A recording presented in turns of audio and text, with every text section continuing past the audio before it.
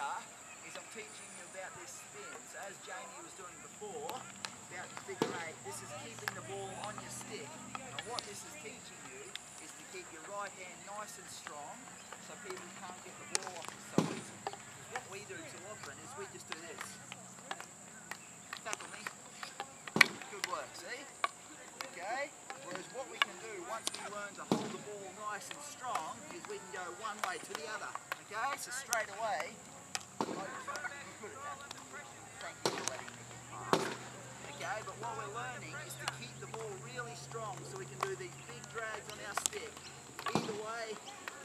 right out wide. And that's all our right hand nice and strong. So, what we're doing here, big straight across. Facing the ball, ball outside your right foot. Okay, to the side here. Everyone look how yours is, so it should be the same as mine. Now, what we do is we put our stick to the rounded side, straight up and we bend our knees. What we've got to learn to do is we've got to learn to get strong. So if you're standing there like this, okay, I'll just push her off balance. I wouldn't do that, sorry.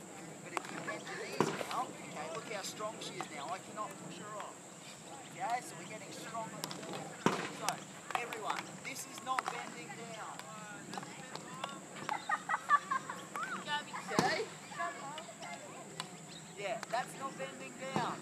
Alright, look, this is bending. Okay, so bend your knees, get really strong.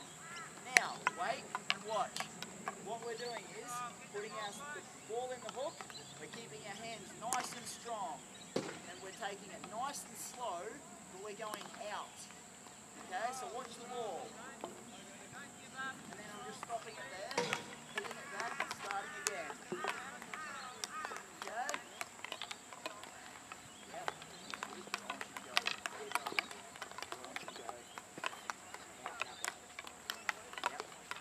Yeah, so once you go out,